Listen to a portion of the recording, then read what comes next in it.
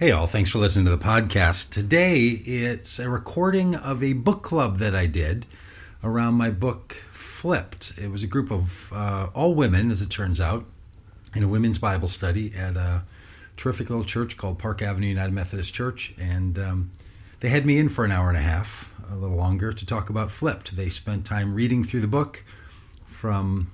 Uh, December until now, or January until now. So they spent a long time inside the book. Um, it's a great conversation. Uh, we pass a mic around the room and uh, interact, so I hope you enjoy it. Uh, like a lot of people, they appreciated the book and felt a little pushed and stretched at times. You know, the subtitle of the book Flipped is The Provocative Truth That Changes Everything You Think About God. And those provocative truths, uh, they don't always land easily. So here it is this terrific conversation that I had with these fabulous women. And um, I hope you get something out of it too. I should give you a quick like. Last year we read Greg Boyd's Cross Vision. Yeah.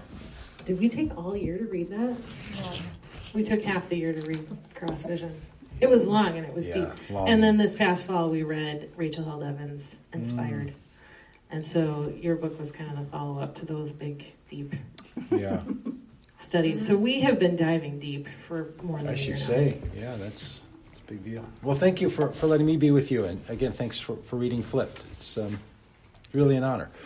Um, I feel like I've known and had Park Avenue uh, church and community sort of in and around my life, you know, uh, as long as I can uh, remember. I got into Christianity when I was 16, and within a couple of years, I was working at a church in Eden Prairie as a youth volunteer and kind of leader. And we would bring uh, teams down to support the uh, Soul Liberation Festival when it used to happen. So our group would stay overnight, uh, running the second shift to protect all the sound equipment. Uh, so we'd get these suburban uh, high school kids to sleep outside on the stage uh, down here at the, at the Soul Lib Festival. And um, and because I grew up, uh, you know, in this area and went to Bethel College, and you know, the, the, uh, Park Park Avenue is Yeah. is that right? Yeah. people went to Bethel? Oh, is that right? wow. Am I the Oh. only non-native Minnesotan? Good, Well, Uh, Joanne. No. Well- What? Joanne, are you You native didn't to grow Minnesota? up in Minnesota. Huh? did you grow up here? No. Yeah. Yeah. Where are you from? I didn't come. I'm from West Virginia. Oh, We have churches Mountain there Mama. too. you do. You're a mountain mama. Take me home. Um, well, thanks for uh, thanks for reading the book. I, I don't know how you want to talk about it. I'll take that first question you asked earlier. Uh, who was the audience, and how do I think about it now? Is Yeah. that is that a good st- Yep. starting point? Um, well, I- I'll start by saying this. Look, wr- writing a book is a curious process, and anyone who does it, uh, in my view, has some explaining to do. Right? Like, like what are you doing? Uh, why why take the amount of time and energy and effort? And then put your ideas into this particular format. And you obviously are well well suited in reading books. You understand books. Um, it's a strange way to deliver an idea right? Um, I find it uh, seriously helpful. I do this as a living. This is my ninth book. I have a tenth one coming out. So, like, I do this, right? Okay, so fair enough. I'm I'm all in. Um, I do find the one-way communication between an author and the reader to be a bit problematic, though. Uh, truthfully, uh, it's um, the author holds all the all the control, holds all the power, sort of takes an idea and runs it through. And as the reader, you might write something in there, and I see some people have tagged places in the book, or maybe you you wrote and uh, tried to fight back a little bit, or talk back, or push back, or add an amen, or add an uh oh, or add a may it never be, uh, whatever it is you're doing. But boy, that all happens. Like the author rarely gets to hear to, to hear that, right? Um, and um, that so that's a curious thing. So book groups like this, or discussion groups, or Bible studies, where at least you have a chance to let the book be a third voice in the midst of your interaction. Uh, I think this is really the best way to do it. I think every book should have to be read out loud with a group of people, uh, and make it make it come to life um, and and sit amongst you uh, in another way. Um, so so the the audience, uh, I guess, like for many authors, and certainly for me in this book, the primary audience was me, right? The amount of hours I spent thinking about these ideas, crafting sentences, having to do the the many kind of organizing uh, projects that you do in a book, um, I have found that most authors, when you get right down to it, for this kind of book, and even for nonfiction books, um, for all nonfiction books, even for fiction books, they're we're we're writing to ourselves, right? You're, there's something that won't go away, and you're trying to you're trying to work something out. So most authors are trying to come to, are trying to get to a place, and the book is a vehicle to do that, and that's certainly true for me. Um, so I, I was trying to wrestle with my own ideas. Um, this book is, uh, frankly, the second book in my own mind as a part of a trilogy. Um, the first one that I wrote, that was the, that I consider the first in the trilogy, is called "A Christianity Worth Believing," and there's one chapter where I talk about Jesus and God a little bit in a way that I kind of liked, um, and I sort of pulled I sort of pulled back in that chapter. It, um, it was a bit more memoir than this book. It was about my own sort of exploration, how I got into Christianity as someone who grew up without any religious background at all. But I, I could tell when I wrote that book that there was a missing section. What do we do about this notion of God as it's embedded in the life of Jesus? What do we do there? So this book was taking that idea the next round. Then I've just finished the third book in this trilogy, um, and it's called Outdoing Jesus uh, Seven Ways to Live the Promise of Greater Than. And it focuses on Jesus' comment in the Gospel of John that those who believe in me will do even greater works, will do the works I'm doing and doing even greater works than these. So, what does it mean? I tried to wrestle with the idea that Jesus is the starting gun for a new way of humanity to live in the world and use the seven miracles in the Gospel of John as a frame for how humanity is meant to live. Um, so I've, I've got a Jesus thing kind of going on, right, and a Jesus and God thing, and those are um, those are big issues that when I uh, entered into Christianity, I was I was a teenager, almost 17 years old. I had no religious background at all, so my introduction to Jesus and to the Gospels and to God in a Christian sense was uh, as a late teenager, early adult. That's really important for me because that meant that I didn't have a childhood version of Jesus that I had to reconcile. There, there, there wasn't a, um, there wasn't a um, fourth grade version, a five-year-old version. Uh, my grandmother told it to me this way. My parents said it like that. I like to say I get to think about Jesus without feeling like I'm insulting my grandmother which is a really hard thing because our faith is often, especially if it's a family faith, and I worry about this for my own children. Like they're 29, 28, 27, and almost 26. Um, and they grew up with parents that like talked about this stuff all the time. So any version of Jesus, God, spirituality, Christianity that they experience gets mitigated through the life of our family growing up, and that's you know. Uh, it's not fair or unfair. It's just different. So I, I, didn't have that. I didn't have that going into all this. Um, uh, I, am a bit of a contrarian, and contrarians, if, if you know that uh, way of leading in the world, um, contrarians are often seen as troublemakers. Uh, I don't think contrarians are troublemakers. I think contrarians are trying to keep people out of trouble. I think the person that raises their hand after the last amen, the person who says, yeah, but also, uh, and what about this? And um, I have a friend named Peter Wohler, who some of you might know. Oh, yeah. Yeah, yeah so Peter and I have been friends for a really long time, like way even before uh, I was in Christianity, maybe before he was, I don't know. But we uh, we were in high school at the same time and played on, on competing basketball teams against each other. So when we met in our early twenties, so anyway, we've known each other a long time. Pete, Peter has this this great phrase where he talks about the work that they do for with Source Ministries, uh, and he said uh, he grew up going to church a lot. And he said, "I always worried about the second and fourth verses. Why they?" Uh, he would say uh, the the song leader would maybe they're calling you now too. Maybe somebody hunting both of us down. Um, he'd say the song leader would get up and say, uh, "Let's let's sing the first and third verses," yeah. and then he'd always say, "What's in the second and fourth verse?" Right, like what's being left out. I get into Christianity when people uh, with a group called the Navigators were uh, were around and doing a lot of you know. So I, I, I memorized. Are they still around? Oh yeah. Still doing their good navigating, mm-hmm. and Bible verse packs they would yeah. give you, and you had carry this little pack with cards, and then you'd pull the card out, you'd say the verse name and the verse reference, and then you'd read the verse. Yeah. So I memorized Bible verses, and I always wondered, like, okay, uh, uh, Second Timothy three sixteen, for all scriptures inspired by God and therefore profitable for correction, for teaching, and training in righteousness. What's verse 17? What was verse 15? Like anytime you pluck something out of the middle, what was around it? What, that, that was always curious to me, far more interesting to me than the, than the passage itself. Um, so that's sort of a temperament, right? Um, and then I have also come to believe that Jesus and the Jesus gospel is bigger, more expansive, and more inclusive, and I would even put it in a political term, more progressive than I am.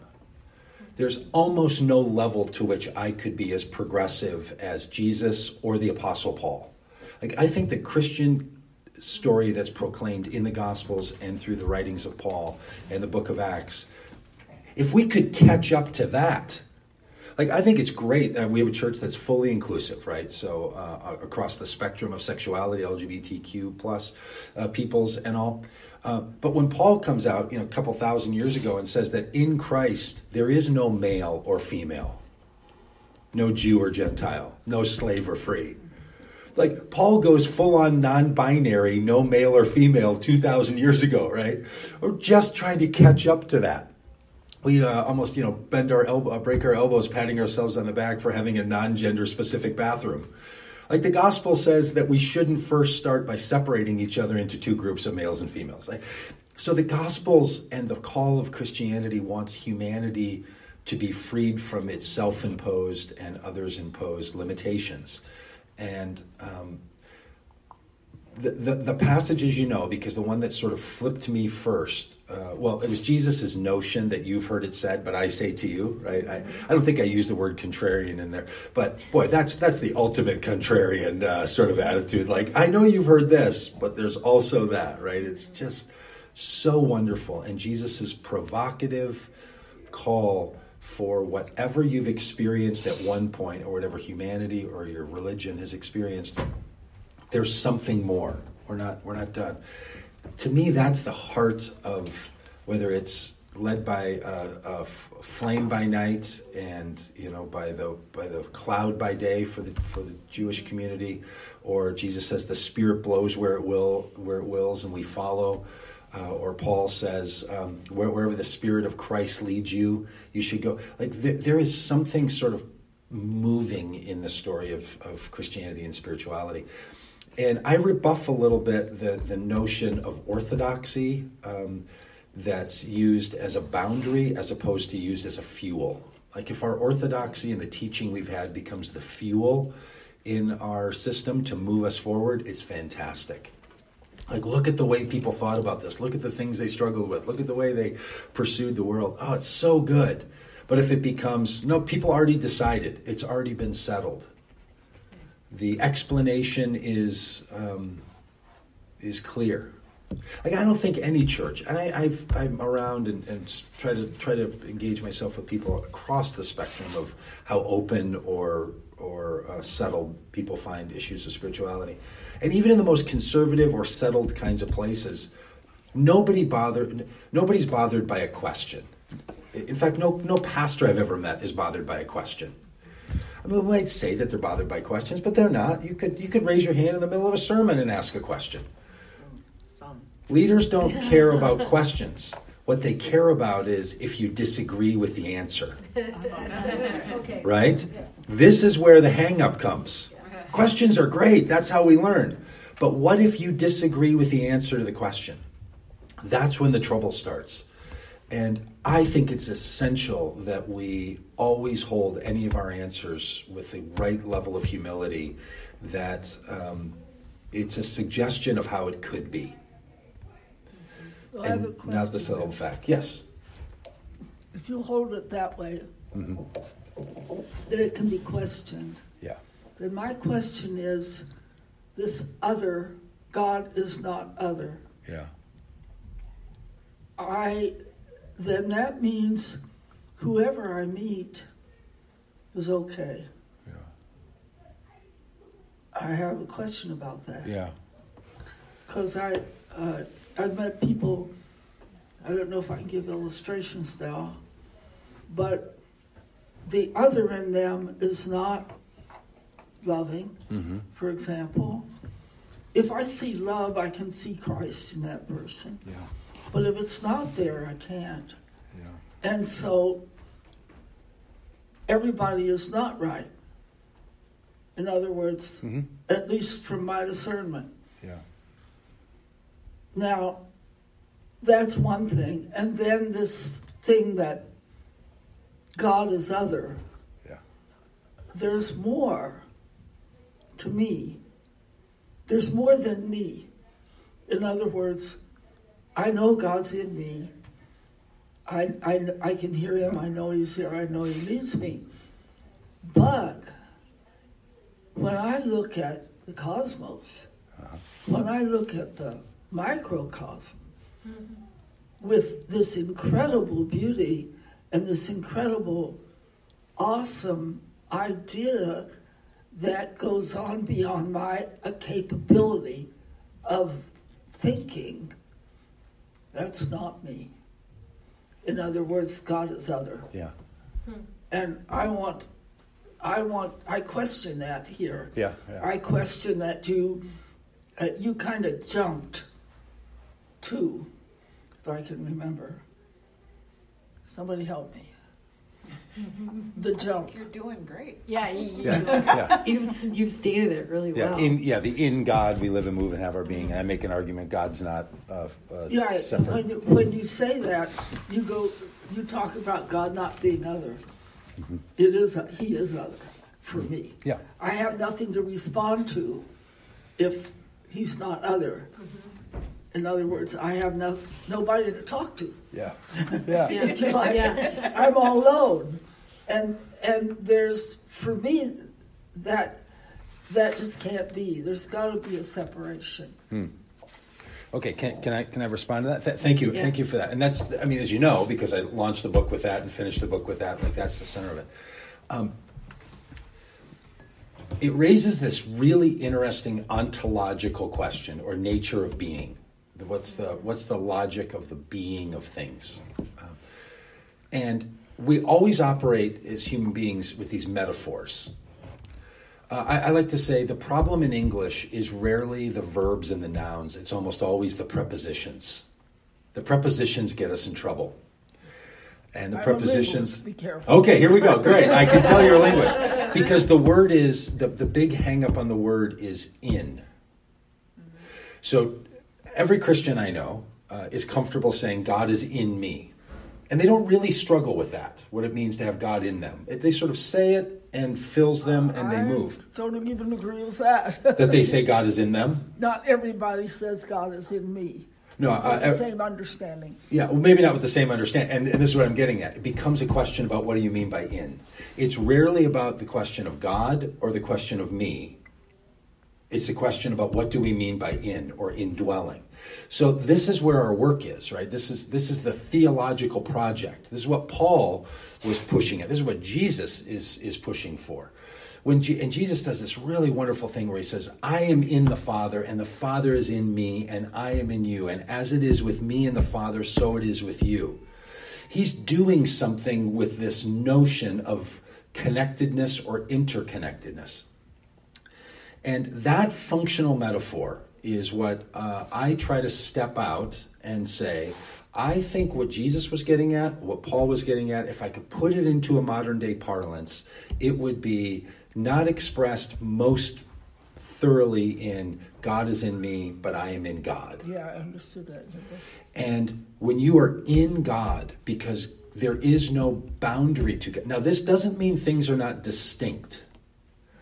And it's something I don't, uh, I've spent a little bit, a couple of sentences here and there about the difference bet- between something being distinct and separate. So, just as a metaphor, it's very, it's very uh, uh, uh, easy for us to understand that my finger is distinct from my spleen but they're not separate. Or they're not separate in a way that I would say, well, my spleen is me, my finger, no. But they are distinct. I mean, they're distinct. They're, they're separate in space, they're separate in function. I could take my spleen out and keep my finger, I could cut my finger off and keep my spleen. But functionally, uh, in my life, if I start to say, there is a me that's not my spleen, it's not my finger. I could start to dissemble myself down to the point that you have to ask this really deep question well, what is you? At what point, what is it that makes up a you? Well, I, and I think a lot of us, uh, you know, the, for some, these are not fun questions, but boy, for some of us, this becomes a really interesting question. Am I my thoughts? Am I my behavior? Am I my actions? Am I my beliefs? Am I my body? Well, in some ways, yes, those are all you. But are they the totality of you? No. It, it, it, when someone behaves evil, are they evil? When someone behaves good, are they good? These become uh, categories of uh, description and understanding of ourselves that push the human being that because all of us live sort of in a specific location knowing that we've taken on the biology of our of our heritage we've taken on the genetics we've taken on the energies perhaps we've taken on the teachings most of the things that make all of us up are a collection of that which has been given to us our language our words our body our physical makeup all of this we're, we're, we're the beneficiaries of inheritance much more than we are the self creating uh, uh, features. So, in that, we are sort of connected to one another. I think what Jesus is getting at when he says, um, be one as the Father and I are one. That's a kind of recognize your, your full oneness, even though you are distinct. But distinct does not mean separate and doesn't mean different. Now, it can sometimes, and people might want to argue for that. And look, Christianity has made its uh, has made its hay on separation and distinction narratives. The separation narrative of God. Uh, in, the, in, that uh, first book that I mentioned, I, I, t- I tell the story of how I got into Christianity, and um, it was at the it was downtown in in, Mini, in South in Minneapolis at the what's now the State Theater, and back in the early 1980s, it Jesus was people. the Jesus People Church. Yeah, yeah where, there you go. Well, uh, you, you might remember that it was April 1st, 1983. It was a Friday uh, before Easter that they had a uh, passion play. Passion play was a common thing that they that they ran there. Uh, that that was my introduction to Christianity. So I know nothing about Christianity at all. I go to this passion play with a friend of mine. I literally don't even know what a passion play is. It was frankly a bit of a bait and switch when I got there and realized that it was a passion play, and it wasn't. you know, it's a big. That's a that's a very specific use of the term. Uh, yeah, the passion, right? Um, so so we get to the uh, we go and I don't know anything about Christianity at all, uh, really uh, zero and I see the story of Jesus and I see the story of God and the story of God and humanity playing out in the life of Jesus and that God is not separate from humanity and that the play out of, of Jesus is to invite people in and Jesus is is beaten and I knew what it was like to feel that kind of rejection and Jesus was abused and I understood that and Jesus was uh, one of God and that can be a little confusing. He was accused by the religious people of being the wrong one, and yet he was the promised one. The resurrection happens after Jesus says, Father, forgive them, for they don't know what they're doing. That forgiveness is the response to violence, not more violence. It's a revolutionary story. So my heart bursts open. They do an altar call. They say, "Come on, you know, come on down if, if you want this to be your thing." I swear, I was the first one out of my seat. Right? I have no idea what an altar call is. I don't know what's happening, but I'm like, "That's the story I want in on." And so in that case, it was great that they did it right out and you know made you come right to the stage where all this was happening. So I go down to the stage. They gather us up and they uh, brought us backstage, which is kind of cool at the start. And then we sat in these little circles. There were lots of little circles, maybe about as many as, of us as we have. And they handed out these tracts. And we start going through a tract, and all of a sudden, all the passion, all the people, hmm.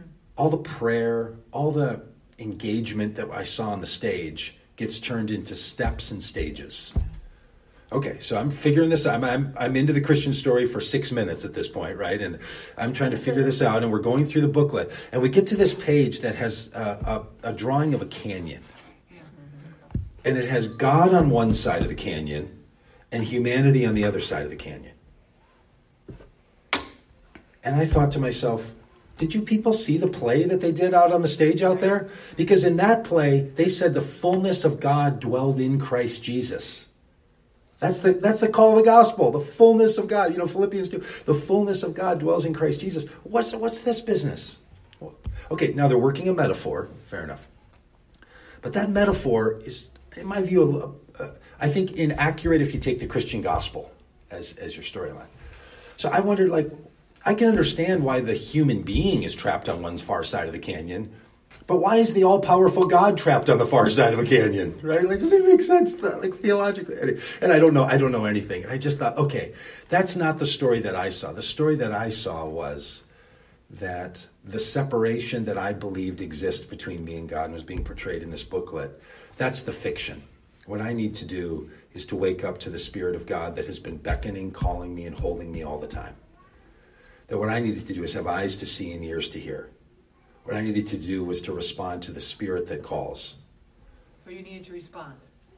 I needed to, I, yeah, I needed That- to. That was one of our questions. I needed to. Yes, yes. Well, yeah, I needed to respond and to reorganize and to reorganize my life, not to change the the the nature of my relationship with God, to change the nature of my relationship with myself. How many times has that changed? Say, saying it just with. How many times has that changed Uh, I, since that first time? I think continuously, honestly, um, I think it's it's daily. To borrow the Apostle Paul's phrase, How Um, can you not change if you're asked? I mean, uh, how do you? yeah. How how does that play out? Do you have a choice of not changing Oh yeah, yeah, daily? yeah. You always have. I, I think you always have a choice. I think a- human agency, at least in, if you know, for your typical person for whom the the mind uh, and the brain are, are working well, um, I think you you often uh, you you always have agency. Um, and and I, I compare some of this, and I think I can't remember if I do this in the book or not. Um, but the, the the relationship you have with yourself is a really good indicator for a way to think about how you relate to God. You can have a very broken relationship with yourself. You can lie to yourself. You can abuse yourself. You can deny yourself. You can talk badly about yourself. You can talk well about yourself. You can heal yourself. You can love yourself. Now, not because you're separate from yourself. In fact, the, it's only possible because you're not separate from yourself that you can do all those things. So that which we can we experience in our own selves. This is why Paul uses the, the metaphor of the body. He's not talking in some big broad sense. He's like, no, that thing you do in and with yourself. Don't say the hand is separate from the foot. And live in such a way that you're full and integrated with yourself. So, can you violate yourself? Yes, you can. I mean, look, if we were, uh, if, if you started to a real serious uh, practice of thinking about how you've thought about yourself over the last three months, you could probably chronicle a number of times where you've been tempted to or have said things or thought things about yourself you would never say about someone else.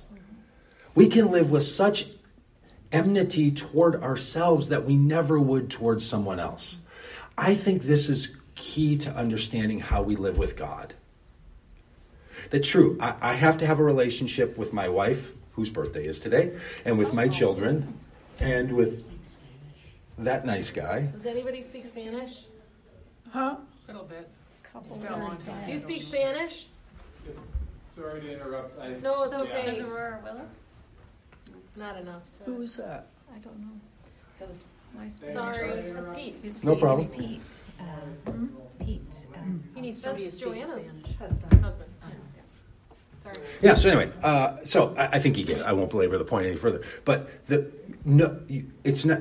It's a psychological disorder when you split yourself into different personalities, right? We, we have we have terms for that. It's a it's a it's a breaking of the of the of the psychological structure.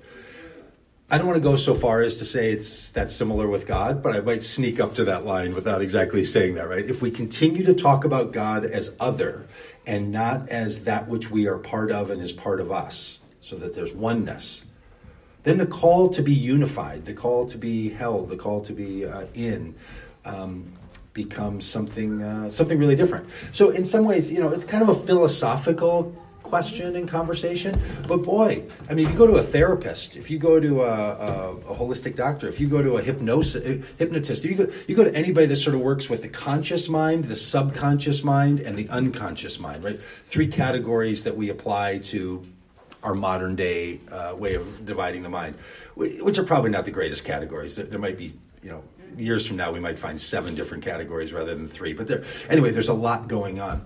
But if we think that we are separate from ourselves, if we think we're separate from our past, if you think you're separate from your future, the old me, the now me, the future me, well, in some ways you can talk about those distinctly. You know, I've changed a lot and not the person I was when I slept out in the parking lot out here. I'm a different person now, but not totally, right? So this is the question for all of us about who who are we and how are we? And our questions about is the cosmos really separate from us? Are we separate from it? and what's the nature uh, what's the nature of relationship but look uh, it's a, it's a very fair argument and and I I, um, I I think there's a lot of people who would for a lot of reasons would have a better sense of Christian spirituality if God was a separate being that they had to relate to through a mediator um, but boy, I think like the book of, of Hebrews does this real, it tries really hard to say, don't think about that there's some mediator between us and God. Jesus is the final mediator that brings it all together, right? It's trying to remove mediator and Jesus is trying to get rid of sacrifice narratives. And like they're, they're trying to take these hard, uh, uh, hardwired notions of separation and distinction and to help us to understand the interconnectedness of all things. That's why when Jesus says, when you love and care for someone who's in prison, when you care for the least of these, you've also done it to me. Now, you can turn that just into morality. You can turn that into some kind of moral scorekeeping of credit. Sure, of course, people do that. I've done that for a long time. But I think Jesus is getting at something more. I think Jesus is actually getting at the, the you that you think you're doing is not separate from the one you're caring for and is not separate from Jesus and is not separate from God. And for me, it really helps me to sort of reconcile the, the hard divisions that uh, exist in Christian spirituality between uh, you know God, Jesus, the Spirit, and humanity. Um, I, that's essentially what this book is trying to, you know, sort of nudge people, uh, nudge people towards a more integrated view of that. All right, so that was a long, long answer to a to a an, unsatisfactory answer uh, for some people, I'm sure. To a, a Well, can I? I have a list here for, that is collected from the group, so these questions are not just coming from me. Joanne asked one of them just now. Um, but to maybe put a, even more kind of flesh on that question, I think what our group has kept coming back to is so what is the, um, what do you think about evil and suffering then? And where does that Yeah. fit in this? But I mean, isn't picture? that really the question? Like, it never comes up. I don't raise it in the book, but I'll tell you, every conversation I've had about this book and every group experience, it, it whether it's the first question people ask, it's the one they're waiting to ask. Mm-hmm. Where then is evil? Mm-hmm. And I'm sure you have all the answers. Um, it become uh, for me the, the big shift the reason i got comfortable writing this book and saying these things the way i try to say them in flipped is if we start to believe that evil is something else and other we miss it altogether i think this is what the jewish tradition teaches about god i think it's what jesus tries to teach that evil and good do not sit opposite to each other, they sit with one another. And the capacity we have to do good and the capacity that we have to do evil, they don't, um, they don't fight each other. They live with each other. Yin yang. Yin yang. That's an Eastern. That's uh, I don't know what tradition specifically yin yang is, but they're together. If you know that yin yang symbol, it's you know sort of that swirl and the swirl, and then there's a dot of each uh, color inside the other. The, the book of Genesis is what really throws me on all of this, right? And I mean, this is this is the third grader in Sunday school class. Like, hey, why is there a serpent in the garden? Mm-hmm. Right? Sort of question one. Be, and, and it strikes some of us odd because we want evil to be other, and we want other to be evil. The thing Jesus does is he says, Look, you try to put all that evil out there, you try to put all that evil on her, you try to put all that evil on Oh, him. Where? On, on some other person, No, on some other thing. quotes in the Bible that Jesus says that. Oh, when, when yeah. So so when Jesus says, um, "You condemn this woman for uh, for her uh, for her adultery," and he bends down on the ground, he writes, and then he stands up and he says, "But I say to you." Those of you who look on a woman with lust in your heart, you've committed adultery already. Where does it start? It's you. You, the righteous, are also the betrayers of the righteous. Don't miss that, he says, right? He says to the woman, Go and leave your life of sin. Not you are sin, leave it. Like the, one of the big questions for us just saying to, that you are sin, it's part of you. It's part of you and you've and and so then the question becomes do you deal with it? Do you live with it or does it overcome you? The, the way james puts it in the book of james is really great. The, the the sin that so easily entraps us. Thinking about it as an entrapment as slavery. The jewish tradition the jesus tradition the early church tradition is that sin is seen as slavery that puts us in bondage and damages us.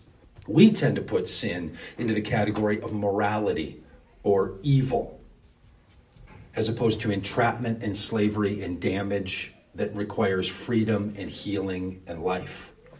So the alternative to sin is always life. The alternative to sin is not some sort of punishment. I came that you might have life and have it abundantly. When, and, and that's Jesus' response to you know the idea that he's a son of the devil. right? He's like, "Mm, I was going to ask you about Romans. I, you know, I, I do what I don't want to do, Yeah. and and I don't do what I know I'd like to do, and then the next verse, there is no condemnation Yes. in those who are in Christ Jesus. Yeah, there's no condemnation. So Paul's whole argument is get rid of condemnation.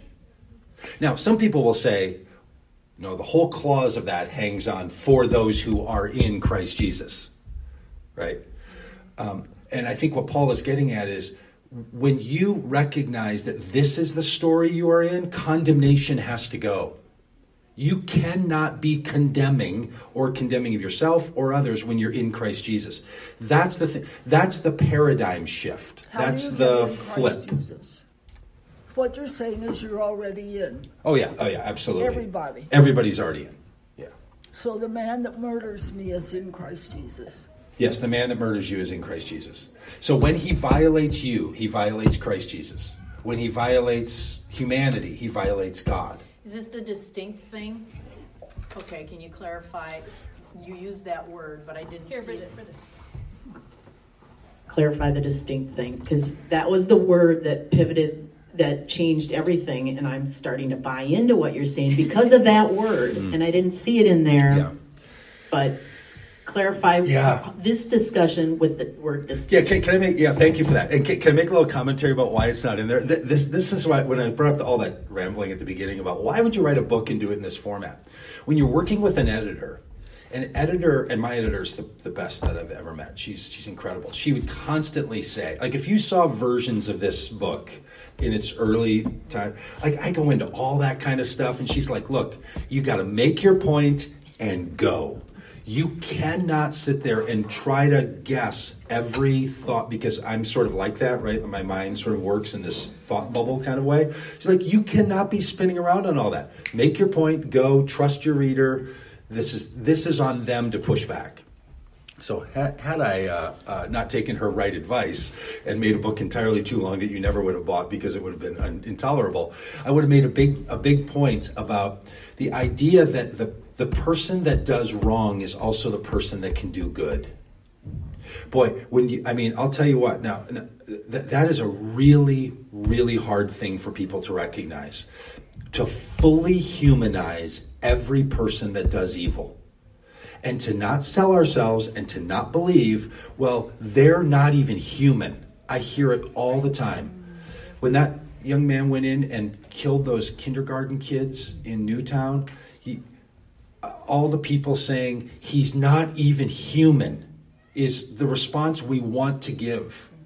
The truth of it is, yes, he is human. Even the full beloved child of God can do such things. Can I, can I be real provocative for a minute about that?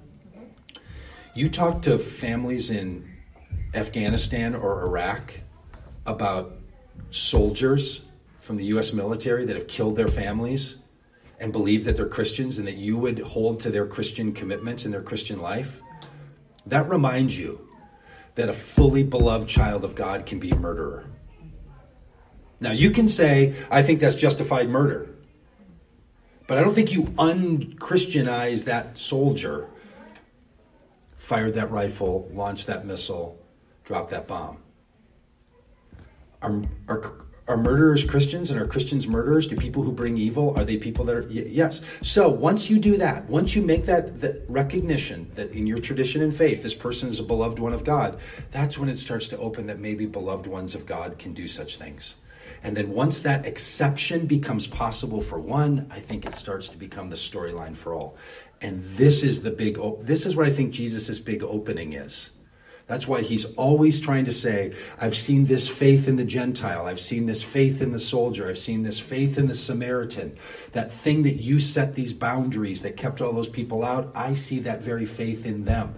That idea to a Jew was so provocative.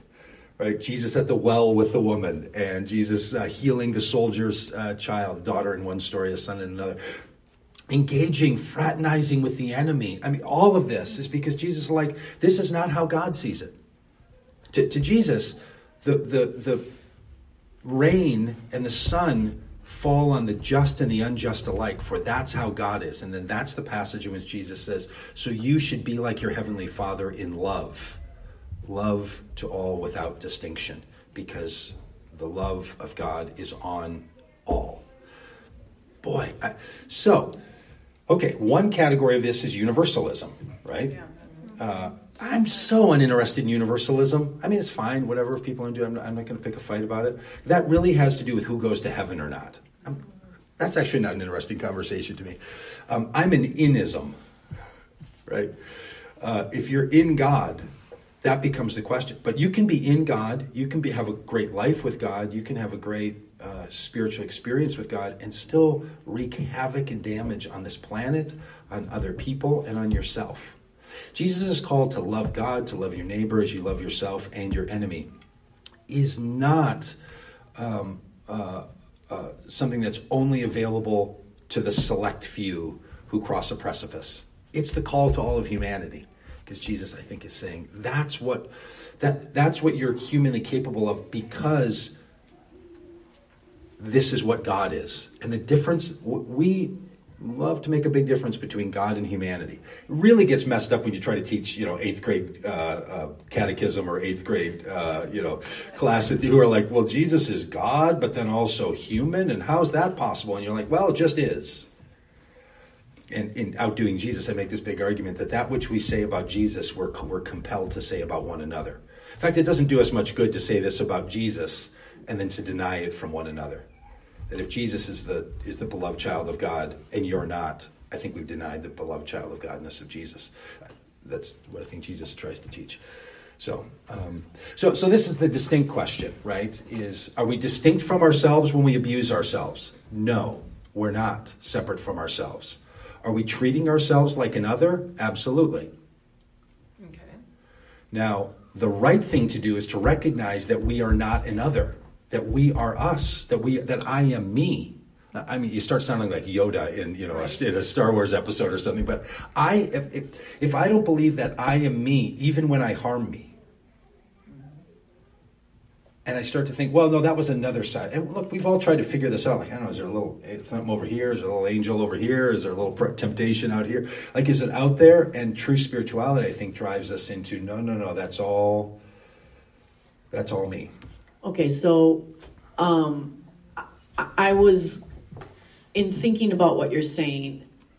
I'm my mind is is triggered to think um, like Paul was talking about, and Jesus certainly the the the Jewish view, which is more monistic than the Greco-Roman, which is more dualistic, separation of body and and and spirit um, or are they are they calling humanity back to more of a Jude- Jewish view of of integrating the person but then the other thing about the big thing about the other that I I am willing to go along with what you're saying to a certain extent. Sure, But yeah. but the thing be that I need with the other is um, knowing that God is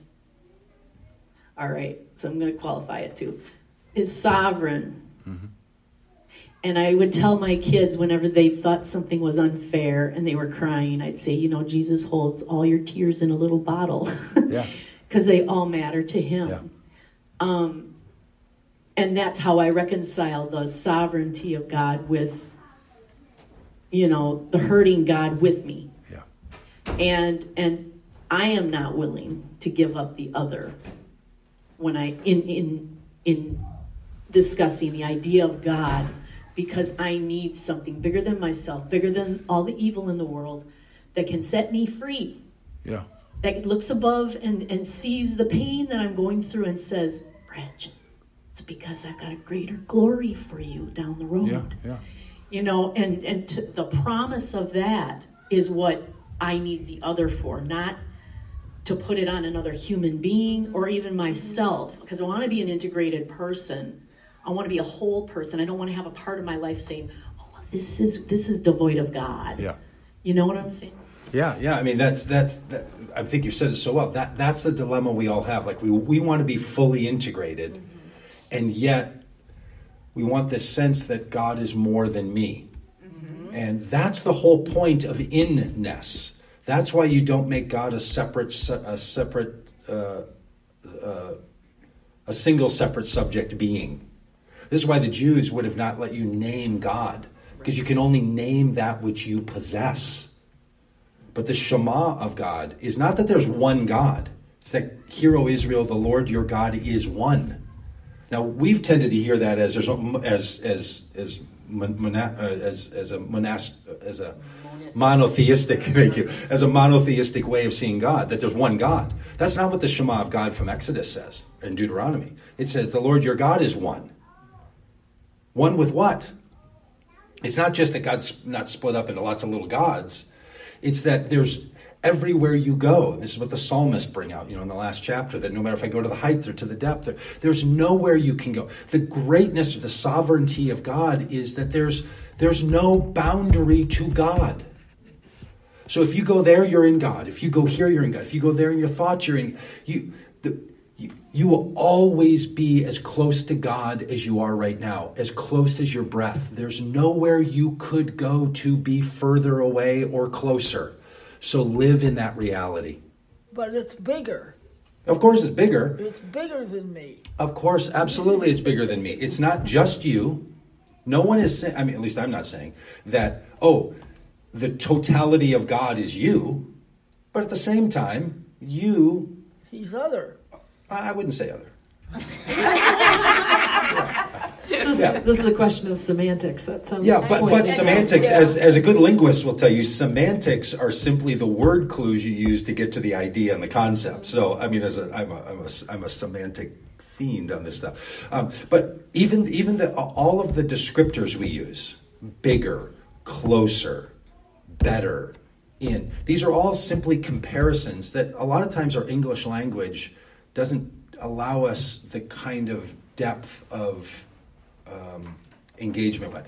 So, look, almost all Trinitarian thinking Christians would say Jesus, fully God, fully human.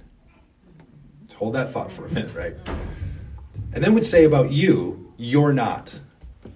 Jesus was, you're not. You know, and then the eighth grade kid's just like, okay, come on now. How does that, right? If you start thinking that through. Now, if you say that which was true in Jesus is also true in you, and that's what Jesus' call is, that you would see that Jesus is the brother of humanity in the family of God. And this is what Jesus' primary teaching is. Don't, don't think of me as different and as others. That's why you're going to do the work I'm doing. That's why I'm sending you to go. That's why you're going to be the ones that follow. That's why I'm going to go so the Spirit can come. Because it's better that way. Because you're all part of this now. That's the story of Christianity. Not that one time, one place, for 33 years, one person had an experience of fullness with God that you don't have. I mean, That's not the greatest of news, right? And then if you think the right things about who that person was, then you get partial access to.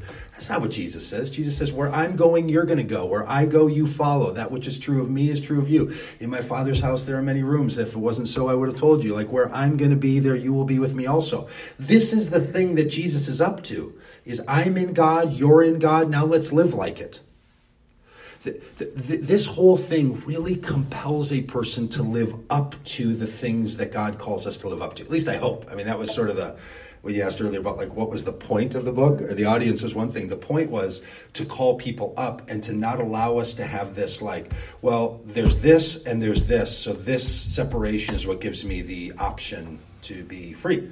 Um, in some ways, the, the the gospel strikes people as like, wow, I'm deeply implicated here if I'm in God, there's nothing I can hide from God, even though we all talk about hiding things from God. Like, for the love of it all, people talk about that. We think we're hiding things, and then somebody says, God sees everything you do. Or, better yet, God holds every tear you've ever cried.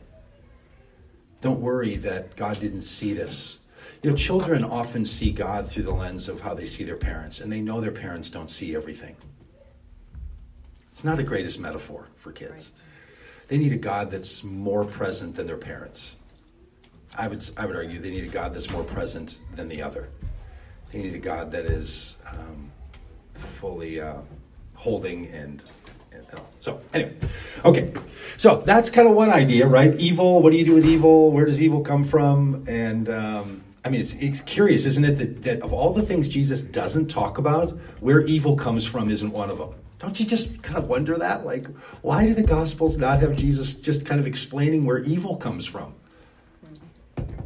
Instead, every time it comes up, Jesus pushes this thing and says, you know what you probably ought to consider is you and your neighbor and your enemy. Not where does evil come from? Even on the, the, the, time when they walk by the man who's on the ground, he's been there since he was uh, a child because he was born blind, and the disciples ask that really famous question Lord, who sinned? This man or his parents that he was born blind? Of course, the response is neither. This is so the glory of God could be revealed. Don't see these things through a sin narrative.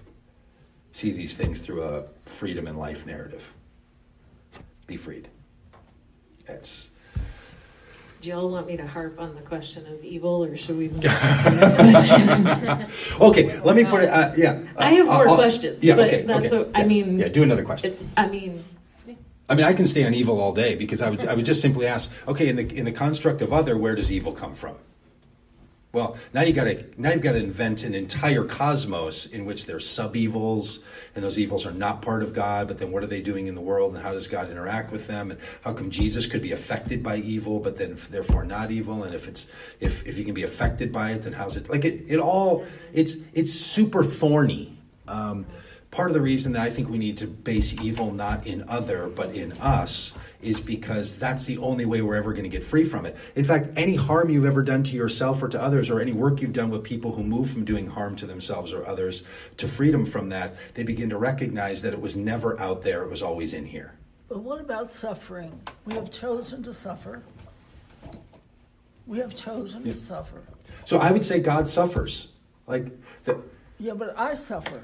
And God suffers. Suffering and and th- and life are not separate from one. I mean, this is the uh, this is the, also the Christian argument, right? That suffering is not something that we should avoid.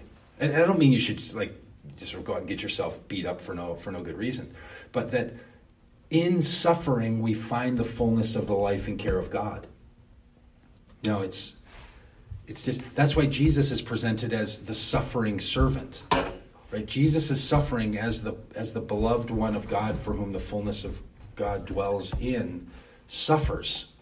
So suffering and separation from God are not the, the storyline we're supposed to be telling. Suffering and cared by God is the storyline that we're supposed to be telling. This is what's manifest in Jesus. But what, what people often, and this, this comes up a lot. I, re, I remember when I, I was doing a conversation about heaven and hell. And I was, there's a debate, this kind of formal debate that kind of helps you clarify ideas. So like some uh, another person would give an uh, presentation, and then I would give a rebuttal, and then I would give a presentation in front of a group. And it dawned on me in the midst of this when I was trying to say that the notion of hell was something imported into the gospel stories of Jesus, not something that comes from the gospel stories of Jesus, and that the gospel stories of Jesus want us to leave that behind. Uh, I, I realized, sort of sitting there, of the comments of, of uh, Chris, who was the other debater, that he was beginning to hear that I was saying God was not going to do anything about the wrong that had happened to him. That when he hears there's no hell, he, me, he hears there's no justice. Yeah, that was Yeah. my question. It's, in my view, it's precisely the opposite. That when evil and suffering and injustice happens in God, God has to deal with it. If God is a separate other character that then has to be called into our suffering, then there's got to be some mitigation about deciding is this a suffering or evil or wrong that God's going to do something about. If all of it's happening in God, if within God there is evil that happens, if within God there is suffering and pain that happens, then God has to deal with such evil and such suffering. It's not that we're dependent, uh, that we're, we're, we're needed to beseech God, to call God on behalf of that, and to get God in here, like somebody came in and said, Does anyone speak Spanish? Because I need you to go out there where Spanish needs to be spoken. Instead, the rescue is not in here and the pain out there. The rescue in God and the pain in humanity. That those things are held together. I think that's a better way to know and to trust that God is with us and is on our side separation narrative would say, well, maybe there's a place where there's God and there is no suffering, and then God doesn't really understand this. But we all know that's not what the Gospels teach. From Hebrews, you know, right through the Gospels, it's, it's all telling us that no, no, no, the fullness of suffering is understood by God through Jesus. That's the, that's the good news that the suffering of God is never missed by, or that the suffering of humanity is never missed by God. It can't be. It's impossible for it to be. So know that God is with you. Boy, I think that's good news. Uh, so for me, I'm trying to wrestle with this like, if God's outside the door, God's over there, I got to get God in here, or I got to get over there. And this getting places and getting people places, moving an item from place B, place A to point B, is really complicated. And um, so, you know, we, we've set up lots of systems to deliver, you know, uh, when will it come? How long, oh Lord? I mean, this is the great. Okay, so I'm, I'm really ranting here. But, you know, if, if, if you read like the book of Micah or you read the book of Habakkuk, how long, oh Lord, must I wait? And what's the answer? I'm already there. Yeah. All the prophets yell, How long? When? When? Don't you see? So th- th- that's why I think the shift in, um, okay. And, and I'm not suggesting that the human experience, that the human being inside of this body with this set of, of, of cells and mind and all is the, is the, the limit to God. I, there's not a great metaphor for this other than I don't know, like every um, every proton and electron and neutron that's ever existed in the world is just being rearranged all the time. It's kind of interesting. Like I'm not a reincarnationist, but that's kind of interesting to think. Uh, you know that that which was part of Jesus's physical body, you have some part of that. Like it's all just moving around here. There's nothing's being added, nothing's being lost. It's always being rearranged. Well, that starts to that starts to open some some sensibilities about past, present, and future, um, which I really think is a problem. Like an infinity loop is probably a better imagery for life than a than a, a start, middle, and destination, um, because we sort of understand that reality in a better way, and that this is the life of God, and there's, you know, sounds terrible. There's no getting out. There's no need to get in. What there is is a requirement to see, to live, and to be. To go and leave a life of sin and to live a life of fullness. And if you don't? And if you don't, then you stay entrapped. You stay in bondage. This is why the Exodus narrative is so big. Moses comes and says, They're not going to listen to me. And God's like, Well, well tell them I, I sent you. He's like, Well, who are you? Well, I am. All right. So he goes and he calls the people out of bondage. Well, what if they had stayed? Well, then they get into the wilderness years for 40 years and they stay in bondage. They keep making, and then the prophets and the kings tell them later, "You're staying in bondage. You continue to." And then Jesus comes along and says, "Just like the Exodus called you out, you continue to stay. Why are you staying?" Right. So the implication of not leaving is you continue to to to, to live under the under the the effect of it. So be freed from it. But do you have a choice to be freed from it? In, in some ways. Yeah, in some ways. But if we think that life is sin, which a lot of people do, they just think like life and pleasure. uh, You know, you, you get a real long sin list going. Um, and, and I don't think sin is a list of things you do. I think it's a, it's a, it's a description of an entrapment.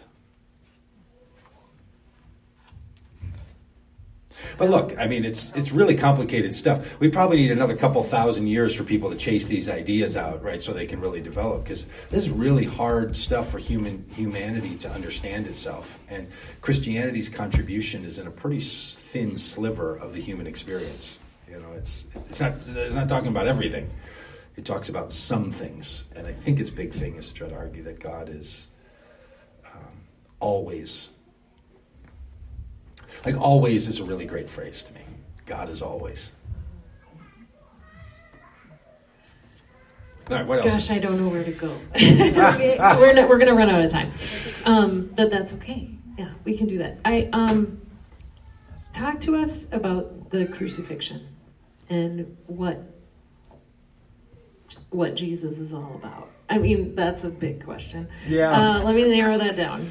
yeah, what do you What need Jesus for in this story, right? This Yeah. Um, Yeah. book was a lot this discussion of transactions and needing a mediator or an adapter to get to God. And if that's not the idea, then clearly you're not someone who believes that the sacrifice of Jesus mediated something for us, or maybe, I don't know, I'm not going to answer for you, but it left us with the question Yeah. so, how do you understand the crucifixion? And how do you understand the sacrifice of Jesus and, and the resurrection of Jesus? We also have like questions about grace and forgiveness and confession. All that stuff, yeah. So Yeah, look, Christianity's been built around a transactional process from beginning to end. So a lot of us have been taught that grace and forgiveness and freedom are all are all results of a, of a particular transaction. And if you click, I've never believed that. you haven't, I'm so thrilled to hear that. I am so thrilled to hear that. I, I, I never. Joanne is the one who's turning my ideas on their heads all the time. because it's devastating. it's devastating when you do. It's it when you feel that there's some user agreement you have to click on in order to you know uh, download the app of forgiveness. It's just it's it's just mind bendingly damaging and and some of the Christian teachings as as they've landed on some people have really affected those people really Did you get really that? harshly. Did yeah, you? I just was appreciating his usual audience with your analogy of the user agreement and downloading an app. Oh, yeah, all these phones, and people, especially with now the new privacy policy. Everywhere you go on the internet or on anything, there's just somebody's clicking some dang user agreement or some credit card comes. Do you still have questions? Oh, yes, I've, I have more curiosities than questions. What, one of the things that's developed in me is that I've tried to, for me, questions, just for me, the way I frame a question, um, questions are about interrogation Right. curiosity is about um, exploration. And I'm more interested in being curious. And sometimes to be curious, you have to drop your questions. Because questions put a demand on you and on the thing you're questioning to stay here. Let's, let's get it, let's let, the answer the question. Get it right. Curiosity, on the other hand, is like, I don't know, what is that? What, what's the, whoa. No, and, I, I don't mean that. I think we're into semantics, but to have the answer. Okay, I've got my answer now. Now I've got my answer. I can never be in that certitude. There's always another not quite satisfactory answer that I need more or I'm looking for more. And maybe you call that curiosity. I think that that might be a semantic. Well, no, I think I think they're different. I think sometimes people can just say like uh, one question leads one answer to a question leads to another question, and they're staying in a question modality, which I get. That's my that's my temperament. My temperament is to be questioning and question answer. There's another way of dealing with ideas, which is curiosity. They're different to me. They're not semantic differences. They're not, these are not synonyms as much as they are different approaches. Um, questioning feels more like, I'm going to Los Angeles today. Curiosity is more like, I'm going on a walk today. One of them is destination oriented, and one of them is doing oriented, processing oriented. I'm working myself really hard to get my Christianity out of my questioning mode because I know that my questions are already framed by a whole set of assumptions that my curiosity is trying to broaden. So when questions come up, I try to sort of deal with them and say, what would be the more curious way to think about this idea more than what's the right question and the right answer? I, for me, now some people can do their questions and answers where they're like, I started with this question and ended up with this answer way over here. I'm not. I For a lot of people, that's really un- that's really unsatisfying. When I say quick questions, I mean uncertainty. Oh yeah, yeah. That's what I certitude is. I mean, if, if you picked up anything from the book, I hope you you picked up the idea that what I've tried to push for is a level of confidence that people can live in, and the thing that crushes confidence is certitude. Certitude is the opposite of confidence. Um, being confident in something is, I think I can live. I, I, I can move forward now. Okay, let's go. Certitude is this pursuit of something where you're certain, and man, the myth of certainty. Anybody know Dan Taylor from Bethel uh, College? He wrote a book, a great book, affected me so deeply a few years ago, or 30 years ago, called The Myth of Certainty. And it was just so freeing because you're like, oh, well, even your certain, certainty is only in the right set of conditions. If exactly the right question is answered, then this uh, question is asked, then this answer sort of sort of fits. So yeah, I, I think that um, all of these things that I say in the book and all this, these are suggestions of a way to see this. These are um, these are flips. You know, I try to make the argument at the beginning of the book that the flipping, once it starts, it never stops. You just keep flipping it over, and a sudden, like, and then there's that, and then there's that, and then there's that. And I think a more curious mind um, that we can all develop uh, helps us keep going on those flips. Because anytime we, we hit something where we're like, no, I think this is this is pretty much the only way you could say that. Um, well, it, look, ideas and spirituality is meant to serve humanity, right? One of the big push I that I make in the book is the Sabbath was made to benefit humanity, not humanity for the Sabbath. Questions, doctrine, ideas, teachings, they're meant to benefit us. We're not meant to fall under their under their sway.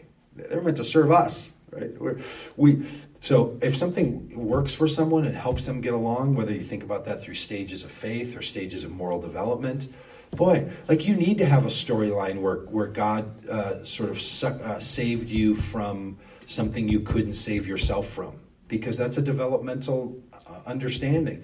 And then you start to realize, oh no, God invites me to help to heal the world. I'm now I become one of the saviors in the world. I become a saver. And oh, e- even for myself. And oh, I've been partnering with God the whole time. God's always been my partner in this. It's never been just just that or this. So uh, yeah, I, I think questions and and a lack of of the, the degree to which questions drive someone away from certainty is great. For some people, though, their questions are in a pursuit of certainty. They're, they're asking questions or holding questions or pursuing questions to get to certainty, to get to LA, not to go on a walk. And and I go to LA, so like I have answers for things like okay, this and this and this and this, you know. But you hold those really loosely. It, it seems to me. Um, like if you were around our church, they'd be like, oh, Doug just said it seems to me again. Like it seems to me is our version of amen. Um, because it seems to me is I know it should be embedded that that's what someone's saying, right? You make a declarative statement and like, yeah, that was you making that statement, right? Like you you weren't identifying something that exists for all time in humanity and you just happened to name it. You gave your perspective on something. Well, they can have a lot of confidence in perspectives. Is it is it ever is it ever certain? I should dangerous when it is, or, or dangerous wrong. Lack uh, unuseful when it is. Oh, yeah, that- that Oh my, we've got three of you. No, no, we're Oh. grabbing for it for her.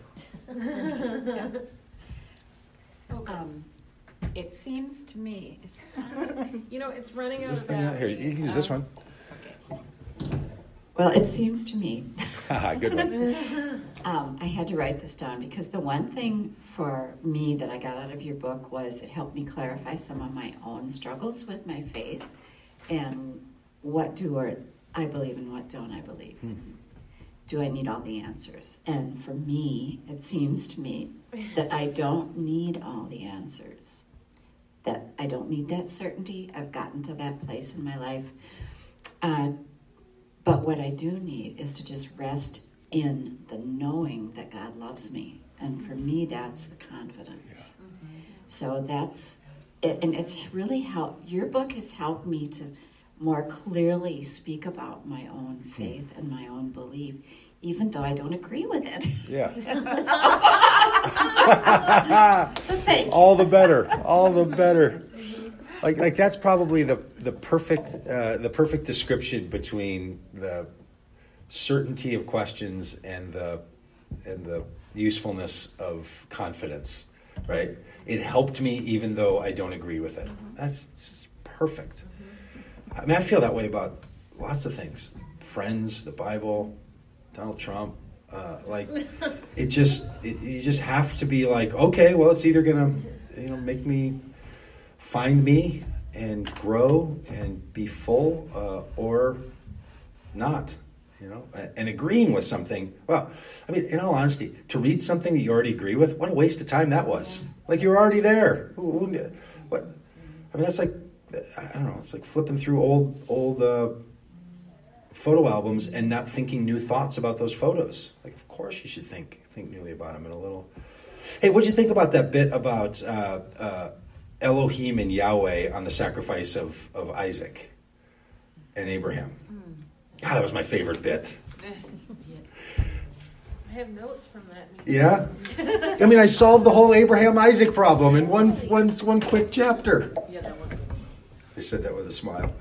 no, it was, That, that, that the call to sacrifice Isaac was a test to see if he would uh, return to the God of Elohim that demanded sacrifice instead of the God so of Yahweh that calls it off. anybody address, um, will it work for me? I- Turn it back on again. It's got a little bit of juice left if we just keep pushing the power button. Right here. Oh, oh, oh, You can do it. did I? It'll light up. It takes You a have to hold it down for a second. There you go. Okay, I've never heard. No, I'm no, it's working now. It's not I working. can Oh, hear you. I've never. Woo. Don't project, Bridge. Okay, I've never heard anybody address the different words used in the text within that context, and uh, it was eye-opening. That's for sure. But why? Why is it that we've heard so much about that and people never address that, if in fact that is so.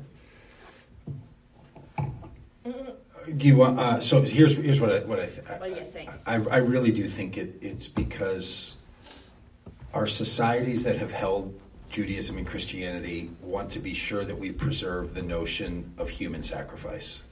And the reason we need to preserve human sacrifice is so that we can call some people to be our sacrificial lambs, predominantly so we can kill other people.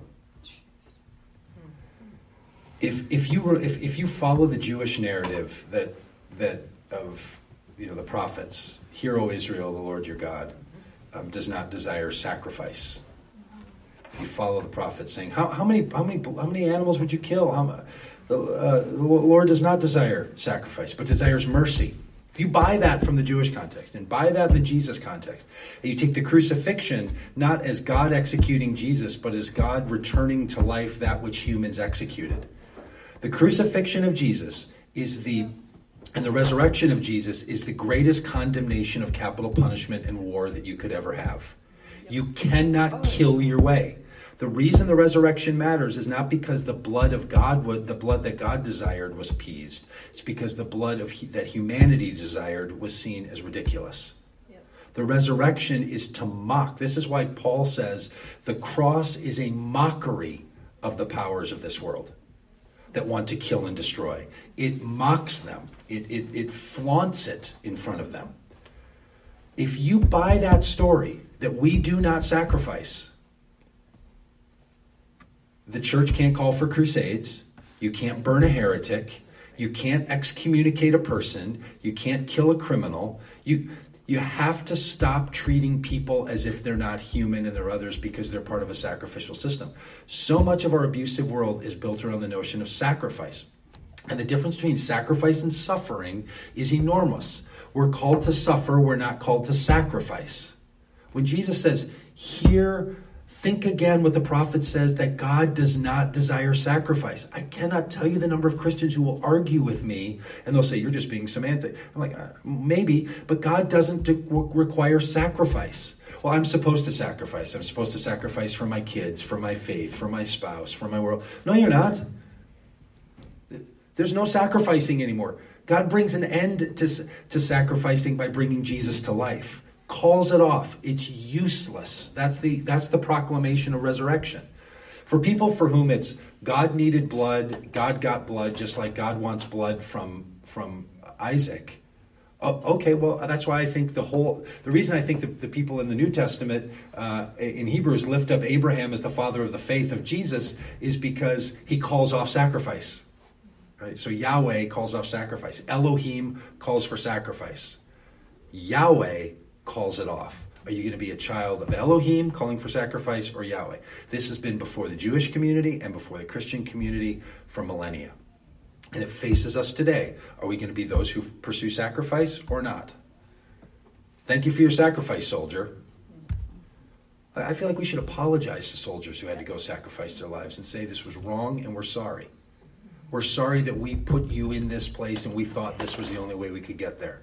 As if war and killing one another is inevitable. It's um, so. Why do I think we don't hear about that? because it's so politically provocative uh, that if you bring an end to sacrifice, I'm telling you, the whole thing comes crumbling down.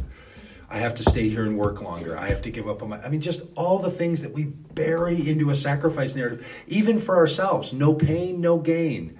I, sh- I have to suffer a little bit. Why am I suffering now? Because that thing that I did, like God's going to demand some sort of a payment and judgment. This whole transactional sacrificial system, it's it's. Um, and funny enough, it's the very thing I think Jesus came to abolish, and yet it's the thing that the followers of Jesus continue to propagate. It's like Freaky Friday. Like We're doing the opposite of what the gospel is. It's just, it is, it is truly remarkable that we're not implicated by uh, the call to end sacrificial stories. Um, you know, unfortunately, I think I write in the book, no, no society performs human sacrifices anymore. At least we've moved away from those ceremonies. Instead, we do set sacrifices and other civic engagements, um, especially around our criminal justice system and around war. The, the note that I have here. that- The border. And the border. In the border. Oh, the border. Yeah. I mean, uh, just I mean, just think about the immorality of a policy that says let's punish children and parents so that people won't come. Sacrifice them so we'll stop being bothered with having to deal with people from Central America. It couldn't be more unjust. It couldn't be more opposite Jesus. And I'm not saying you should even let them in. I do think you should let them in. I think our borders should be open. Full, full stop. Se- But this idea that you would punish someone so that someone else would learn a lesson, that is immoral at the deepest, deepest of levels. Wh- wh- Whether it's Republican or Trumpism or, or, or Democrats or not, I don't care. It's immoral. And we do it all the time. We punish other people to change the behavior of a third person. I'm going to execute you for a crime, put you in jail, strip you from your house so that other people won't do it. That's pretty much the notion of sacrifice. You pay the price so that they don't have to. What the? Are, what, are, what are we talking about? Well, fortunately, Jesus says, Father, forgive them, for they don't know what they're doing.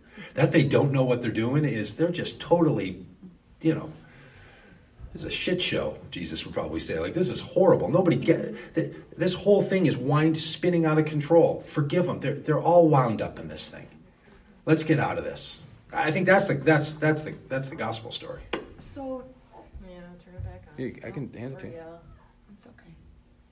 So would, do you see a place for people, um, sac- I'm not thinking of like killing sacrifice, but the idea of that I choose to deny myself Mhm. something Mhm. for the greater benefit of somebody else, or would you just not call it sacrifice? I mean, to me, that's a type of sacrifice. I'm denying my own Versus living in a pleasure or whatever, self interest or selfishness, because I want something to be better for somebody else. Yeah, it's probably the colloquialism is you'd call that a sacrifice. Um, I think we probably shouldn't use that term. Okay, that's I, I About think of that. like surrender. So sometimes I think if I, I'm gonna, I surrender this. It's a willingness of a surrender. But my motive is not necessarily for the benefit of someone else. It's mostly because I know that if I do that, the, the joy is going to be more full within myself or Yes. within That's all true, too. things. I mean, there's almost a sense in which when someone's doing it willingly, that- and, and it's deferred gratification or giving on behalf of another, that that's not a sacrifice. In fact, anyone who does something really gracious or kind, like you say, I'm going to give up my house so that a refugee family can come in. I'm going to go to Guatemala to build houses so people can have safety there.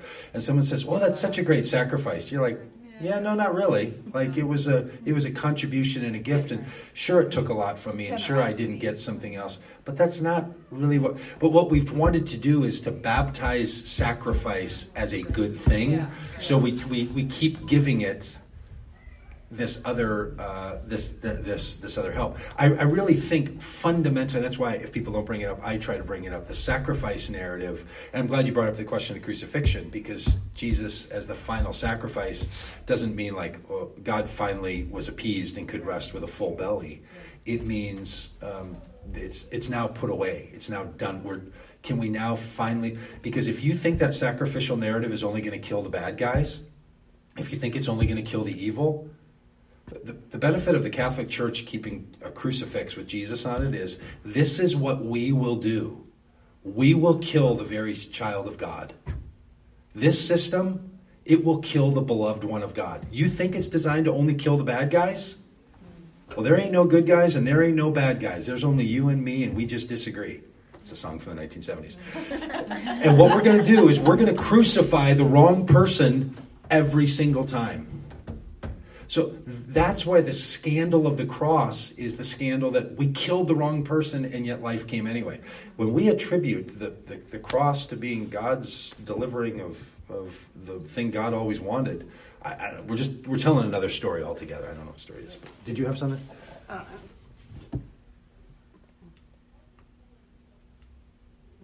might. I will hand you this one. I think it's, I was just, yeah, I think we use the word sacrifice too broadly. Like, and what I think you're talking about is I'm going to stop myself from actually hoarding, um, which I would say is the op, like, the opposite of sacrifice, right? Because you're you're ga- hoarding is gathering more resources than you need, and so we often say that not hoarding is a sacrifice. It's really about generosity, And yeah, I mean it's being generous. yeah, because on my mind about school stuff and integration. It's like, well, as white people, privileged people, we hoard all the resources. So we're like, well, my school needs these extra computers because we have plenty working computers, but we still need more when the school down the road doesn't have them. Like, and so then to be like, well, we don't actually need these extra computers, so we'll we'll donate them, and this is a sacrifice for us. It's not a sacrifice. It's just not Yeah. As hoarding as much resources. So yeah, there- we definitely need to change our thinking about That word. that word and and all the broader implications of that. Yeah. Oh, what else more? do I have on here? Yeah. Um, yeah, a lot of questions, people. Um, We'll pick the real zingers. We started with evil, uh, Yeah. the premise of uh, in God, and uh, the crucifixion of Jesus. So, so let's get to the tough ones. yeah, right? Uh, I'm gonna circle the ones that kind of got to. Um, we talked about God being an other too. I'm still really cranky about that, but that's okay. We don't have to go there. And and not because I I I think in spirit I agree with um, the idea, um, but it's really hard. And Bridget kind of hit on this. It feels um, lonely almost to think that God is not an other that I relate to, but instead something that I'm kind of Maybe he's an other like your finger versus your spleen. right. And I and it's some of this is kind of it's kind of coming together with this conversation. So I'm just gonna let that I mean, one yeah, sit no, for a while. I- I've worked with Um, them too. I don't get it. in some ways we and you've probably heard this before when as we read through this we said how How is this different from how is this different from Buddhism? How is this not sort of universalist or God is everything? Um, Yeah, yeah. God is ground of being and all. I don't think it is different. I think Okay. it's. I, I think it's a way. I think there's there's there's access that cultures that gave us Buddhism or gave us ground of being thought, the philosophical approach, American philosophical approach that gave us God as ground of being, Thoreau kind of stuff. Uh, I, I think that that captures something that our a lot of our Western Augustinian version of Christianity drove out on purpose. But I believe that the reason we Christianity was reframed around a separation narrative between us and God is allows us to separate humans from humans. You have to do that. If if we're going to be different enough that you can be an other that I can kill and sacrifice, or you can be enough that I can exclude, then I need a narrative by which that matches the character of God. Humanity's always wanting to match whatever the universe cosmos ground of being energy is god is with how we live. We, we just tend to do that. We're pattern recognizers so if you can say well god sees you as different from you then i have to do the same thing and if i can see god as separate from me i'm off the god hook now jesus is a bit of a problem theologically but i don't know we'll deal with that sort of as a doctrine or as a one-off or something. But then the gospel doesn't let you do that because the gospel keeps saying, no, that's that's you're you're not going to get to to just separate all that that which God does not separate. Right. So that's. Um, Boy, I think there's real reasons. There's there's a cultural description. I mean, I was really glad to hear you talk about the Greco-Roman world in which they used uh, uh, uh, sep- that other book that I mentioned, that's basically what it goes through, is trying to describe this Greco-Roman worldview versus the, the worldview that Jesus has. And if we could recapture that, and the fact that other people on the planet have also seen the oneness of God, yeah, that's really great. But I think Jesus' call and the call of the Gospels is unique to the other go- the, the other presentations of how people view the world. Like, I'm not not a Buddhist, but I'm not a Buddhist because I'm a Jesusist. Like, and as a Jesusist, following the teachings in the way of Jesus, I incorporate that stuff too. It feels like I get all that plus an ethical call, plus a reimagining and a, and a real active, nonviolent call. Um, now, Thich Nhat Hanh, who does this, runs a program for uh, Buddhism called uh, Engaged Buddhism, is pretty great. Um, like that's that's that starts to nudge right up uh, to me to the to the teachings of Jesus. But I hope my teachings follow the teachings of Jesus. Like that's, um, I, I don't think Christianity has to be again wholly other from all the others. And if any other tradition teaches something, we have to say, well, make sure that's not in Christianity, as if only Christianity's version of the world can can describe that which is right or accurate or you know on, on mark or something um, but i think it is really di- i think jesus' call is really different than than some of the other faiths and religions um, It's not always in great ways but Okay, How- it's just another it example different? of the false dichotomy that we love as Westerners. Yep. hmm did you say the false dichotomy Yeah. yeah like what, what are you thinking of So as Westerners, we love to have a false di. Can you hear me, Joanne? This one's out. It's totally out. I'm sorry. I brought dead batteries Um, to replace the dead batteries. We've talked about this Just throw them in the before. garbage. That's what you do at home. So, Just throw them in the razor. especially as white Western people, our perspective, we love the false dichotomy. Yeah. So we love. That's why all of our political arguments go into anti or pro. Yeah. So you're anti or pro death penalty, you're anti or pro abortion, you're anti or pro Yeah. whatever.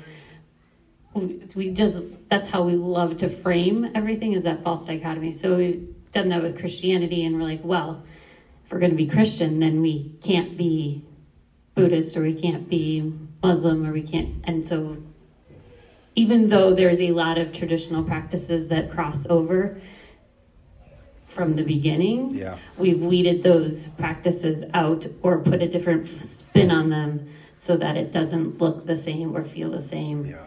Because, oh no, that slippery slope, if you do that and it's too close to them, then you might just slide right down and become something different, but with no, like, ability to stop yourself or change or whatever. You know, the lightning bolt will come down and strike you, and suddenly you will be 180 degrees different from what you were Yeah. before. That's really insightful.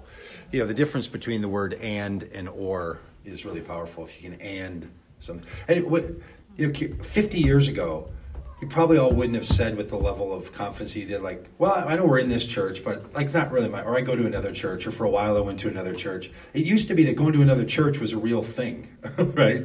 Lutherans didn't marry Catholics, Catholics didn't marry Presbyterians, Presbyterians didn't learn from Methodists. But now we've sort of been like, okay, if you're Christian, good enough Protestant. right? Protestant, maybe, or some Catholics, or maybe a little Orthodox, or, right? So we're sneaking there. And then somebody else says, well, what about Jewish thought? Okay, Jews, yes. Jew, if you're Jewish and Christian, uh, can, and then, okay, Islam, because then, you know, at least they're, you know, part of the Abrahamic, the Abrahamic faith. And then, right, uh, okay, so again, when the exception, once the exception happens, the rule looks ridiculous.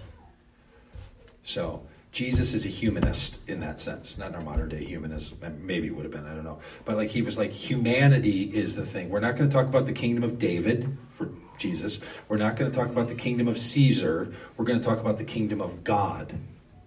Jesus elevating it to the kingdom of God rather than the tribes and the kingdom of David and the uh, the Gentile kingdom of Caesar was to say there's a larger kingdom, that which is the kingdom of God, which God we were going to refer to as the Father, and in this family is all of humanity, of which I'm the big brother. That's the gospel.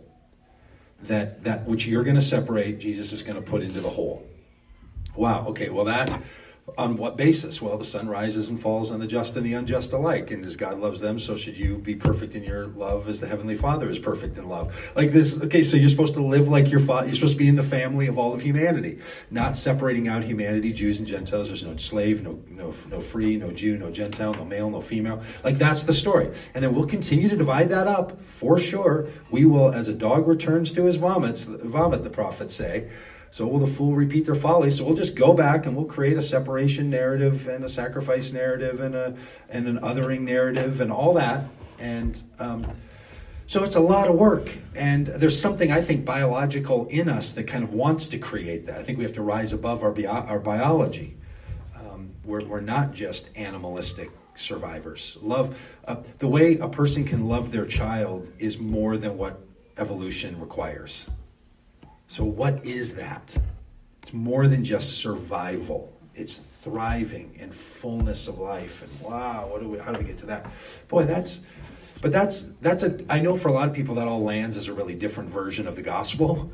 Um, uh, but this is why I think Jesus uses fatherly language um, and refers to God as the Father, because he's trying to contrast God the Father from Abraham the Father. That's that's what's always coming up. You might know those fights happen in the New Testament where Jesus will be like, Well, our father is Abraham. And Jesus is like, I want to tell you, your father is God. It's one step above even Abraham. Because they try to say we're from the kingdom of David, then we're from the kingdom of Abraham. Then he wants to go back to Adam. Then Jesus wants to go back to God. God's the, so we're all in that family. Draw that family line back to everyone. Now, is that universalism? No, because universalism is trying to argue about who gets to go to a place called heaven. Uh, kind of uninterested in that. In that Oh, I was going to ask you about, oh, you're uninterested, but I'm wondering about afterlife. I know, you're not interested in. No, I'm what- just really interested in afterlife, not very interested in heaven. Yeah. Oh, Yeah. so yeah, what do you think about afterlife? Well, I, I, as the best anyone can sort of make a guess, I would assume that the afterlife is, uh, after this life, is going to somehow resemble something of this life, some way for it to have any meaning to us in this life. If it's so, you know, functionally distinct, and then I don't know. All bets are off. Who really? Who cares, right? Um, I mean, whatever that's going to be is going to be something that doesn't matter if we think about it now because it's so totally not this. Um, so it seems to me that that something of this life carries on. Uh, and the way you think about what makes this life life is that which is going to carry on. I'm pretty sure it's not going to be our molecules, even in some kind of a resurrection. I think the resurrection, if people hold it, the resurrection of Jesus was not just Jesus' resurrection was not a resuscitation. Lazarus was a resuscitation. Guy was dead, guy's not dead, guy's going to be dead again. Jesus' resurrection is not that. Yeah. He's, un, he's, he's, he looks different, he feels different, he's other dimensional. So, in whatever this other dimensionalness is of resurrection, um, what, what we do here, I think, continues on. So, in the sense that your experiences from your childhood and from your younger life continue to influence you now, I think that whatever for, life force there is that is you carries on and, and continues. Now, shockingly, there's, other than an occasional near death experience, there's nobody, even in the Gospels or in uh, the Jewish scriptures, that give us any indication about what happens after life. They, they, just seem to be uninterested in answering that question. I mean, save a, a, a an appearance on a mountain, you know, of Elijah and uh, and um, and Moses or something. There's just there's it's not that doesn't seem to be where the focus is, which is really curious. Like they were very interested at the time of Jesus in afterlife stuff. Who do you get married to? Who doesn't? Is there a resurrection from the dead? Like that was all in the in the parlance. And the Christian tradition just picks up very little of that to carry over. It's really it's really curious. So I think we're just into more speculative thought about what that could be. I don't think it's very well informed by our Christian tradition. But I think it's going to have something to do with what, whatever life is now. And I think thinking about that kind of helps us think about what life is now. Like, what really is life here? What are we doing? What, what is this thing that we call life that's going to carry on? What some people call the soul, maybe. I, I don't know. Um, but the soul, I can't get soul out of my mind from like a ghost. So, and the ghost is always like a apparitional version of this, and I'm not totally sure, you know. So I don't know. So so I think we're really in the dark uh, on on that. But there's probably other other dimensions, maybe other realities. You know, we, we know so little about electromagnetism. We know so little about dark matter in the universe. We know so little about what sort of makes up the the cosmos that. Um, and I really like how Paul would say stuff like, hey, make sure you like have your houses open for one another because people have been entertaining angels unaware. You know, like I just love that kind of idea. Like I don't know, like servers, people who serve God, maybe on this plane, and others sort of hang around. It's just such an interesting way to think about a non-physical only nature of spirit. I think Christianity's greatest threat is, um, well, current day republicanism is probably the greatest threat to it.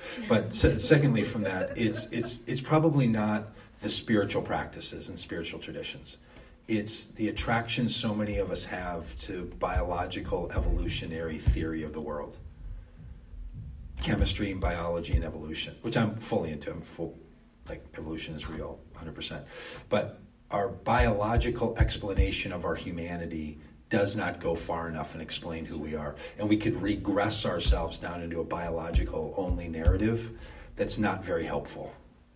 Um, something about what it is to be alive. If you've ever been with someone when they've passed, and I've been with many people when they've crossed over, there's some that energy when the heart stops and the brain wave stops. Something that that's a thing. It's a supernatural. It is. Yeah, and it is. Um, so what was that? and that's not just the bones, and it's not. Just, and so then you start to hear the gospel writers and Paul saying things like, you know, it's not it's not flesh and bones. Um,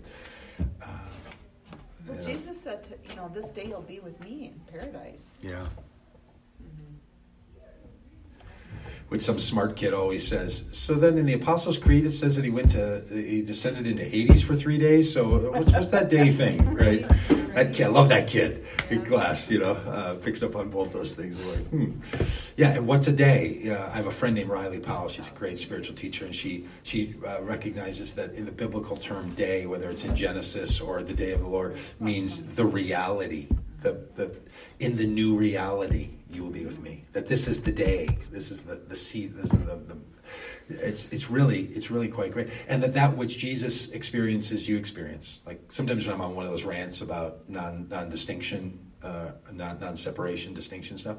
I do this thing about when Jesus says to the person on the cross, you know, you, you you will be with me. That thing that whatever happened to Jesus has also happened to that other guy. Don't talk about it as if what's happening to Jesus is a singular event for only one person in humanity. Fortunately, the Gospels give us a hint that's in there. So I think the Gospels are really the key to all this stuff, and, and a gospel uh, and even a first century church orientation of Christianity, I think would do us a lot of good. I think it's super provocative, and trying to keep up with it is just really, really hard. I mean, it's it's so so rich, and it's just been flattened out so much by not so much by our teachers and only, or our pastors or preachers or official people, but just kind of by all of us. Like like we kind of keep I don't know, we all just keep knocking it down and flattening it out. And, taking the lumps out. So did that answer all the questions about the book?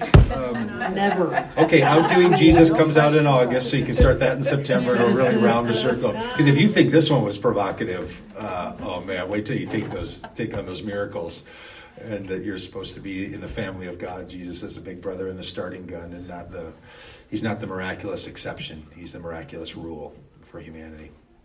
That's really fun. Well, thank you. Thank you. Thanks we have of you. to set our childcare workers free, so Yes. thank you so much for Free them from bondage. Um, right, for being with us today. Um, y'all can feel free to uh, stay